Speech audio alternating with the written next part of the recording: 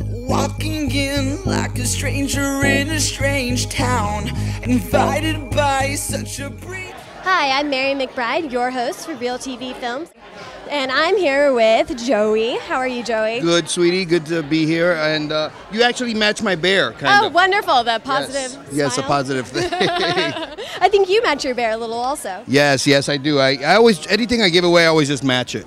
Like I normally, I, you know, like my ex-wives, I, I dress like a plasma TV since I gave them my plasma. I dressed like a house once, my first ex-wife. So you know, things like that. Wonderful, very fun. So you're giving away this bear for the Toys for Tots charity tonight. Yes, it's a great charity. You know, Christmas really is about kids. It's not about grown-ups or adults. And um, you know, it's time to give back. And um, you know, I, I do this amongst a bunch of other events for kids. So it's so it's good to be part of something. Well, thanks so much, Joey. Again, I'm Mary McBride with Real TV Films.